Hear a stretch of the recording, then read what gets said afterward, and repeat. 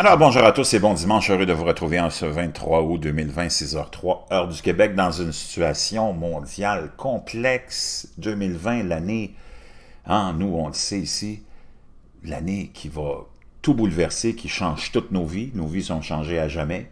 On est marqué au fer rouge, comme dirait l'autre.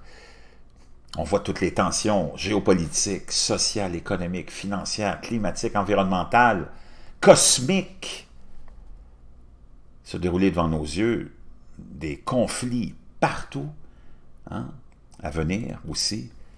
Vraiment, vraiment une année qu'on n'oubliera pas, mais qui va changer nos vies à jamais.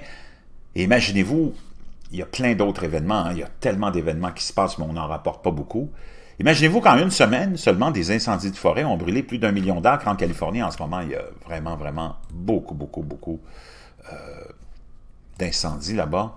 Des pompiers fatigués en Californie ont couru samedi pour ralentir la propagation des incendies de forêt qui ont brûlé plus d'un million d'acres dans tout l'État en une semaine et détruit des centaines de maisons avant un changement de temps prévu qui pourrait entraîner plus de coups de foudre comme ceux qui ont déclenché de nombreux euh, incendies euh, cette saison. En, réponse à l'urgence, le président Trump a publié une déclaration de catastrophe majeure pour fournir une assistance fédérale.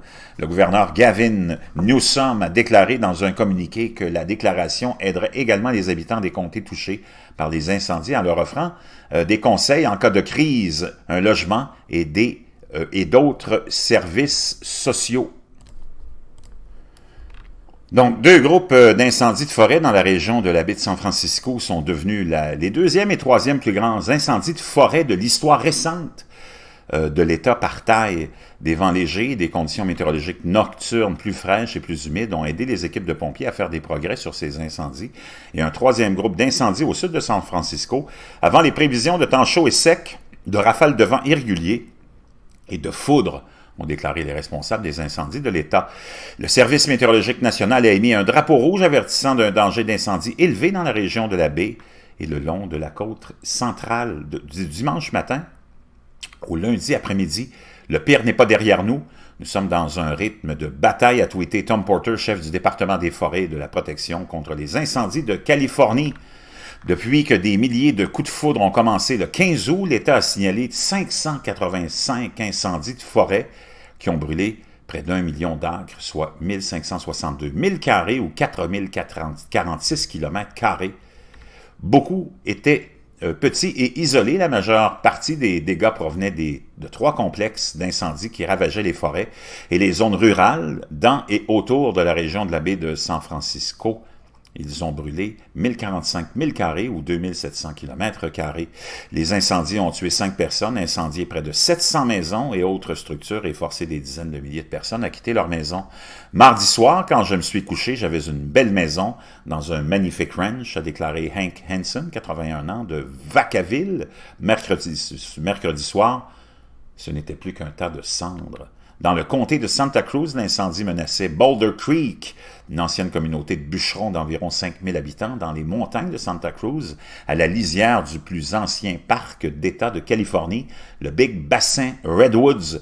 Les responsables des pompiers ont déclaré qu'ils s'attendaient à ce que l'incendie atteigne la communauté, mais ils ont profité du beau temps récent pour essayer de rassembler les flammes autour de la ville. Plus tôt dans la semaine, les responsables des pompiers chargés de chacun des trois principaux incendies de forêt ont déclaré qu'ils étaient à court de ressources. Certains pompiers travaillant par quart de 72 heures au lieu de 24 heures habituellement.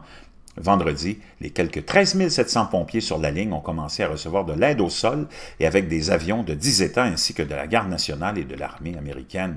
Ces incendies étaient une priorité absolue, mais pour montrer à quel point l'Agence de lutte contre les incendies de l'État est surchargée, les responsables des incendies ont déclaré que seulement 1400 pompiers avaient été affectés à la lutte contre l'incendie du complexe de la fameuse euh, Lightning euh, dans la région viticole au nord de San Francisco, qui n'était contenu qu'à 15% En comparaison, environ 5000 pompiers ont été affectés à l'incendie du complexe Mandesino en 2018, le plus grand incendie de l'histoire récente de l'État. Toutes nos ressources restent utilisées à des capacités que nous n'avons pas vues dans l'histoire récente, a déclaré euh, Shah Jones, chef de l'unité. De Sonoma Lake, Napa Valley de Cal Fire. Nous faisons des progrès, mais nous ne sommes pas sortis du bois, a-t-elle déclaré, soulignant le danger que représentent les incendies pour les pompiers. Le bureau du shérif du comté de Sonoma a publié vendredi soir une vidéo dramatique du sauvetage par hélicoptère de deux pompiers piégés sur une ligne de crête à Point euh, Reyes National euh, Seashore. Ils ont été euh, mis en sécurité alors que les flammes avançaient. Sans cet hélicoptère, ces pompiers auraient certainement péri, a déclaré le shérif.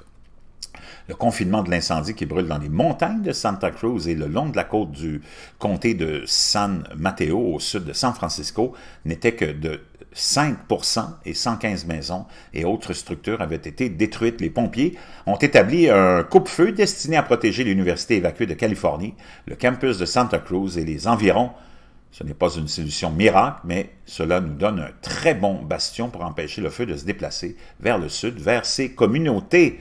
Vraiment, encore une, année euh, vraiment euh, infernale. Hein? L'enfer sur Terre, c'est un petit peu là-bas, c'est un petit peu partout. Imaginez-vous que 2020, c'est pas terminé. En plus, on a l'élection américaine, hein? dans un contexte incroyable. Toute une, toute une aventure qu'on est en train de vivre, les amis. Puis on est témoin de tout ça.